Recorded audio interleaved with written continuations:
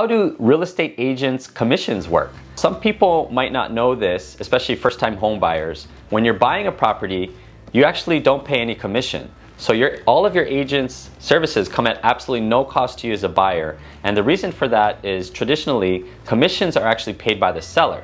Now the seller pays their own agent for presenting the property, doing marketing, and negotiating and getting the property sold. And then they also offer a commission to an agent who will bring them a buyer. Now, I've come across some sellers who try to make that commission as low as possible. There's a reason why you don't want to do that.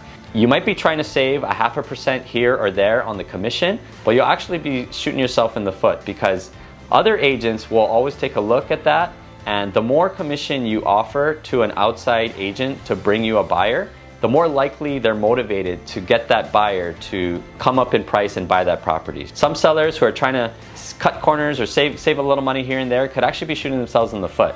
I recommend offering at least 2.5 or 3% commission to an outside agent and that way you won't have any issues and you'll be able to compete with all of the other properties on the market. There are some discount brokers who only offer 2% or maybe even less those properties are always sitting on the market, not selling. There's a reason for that, and there's a reason why you don't want to do that. I always recommend sticking to the traditional plan in order to focus and get your property bid up and make sure you choose an agent who's gonna do the best in negotiating to get you that high price and work for that commission.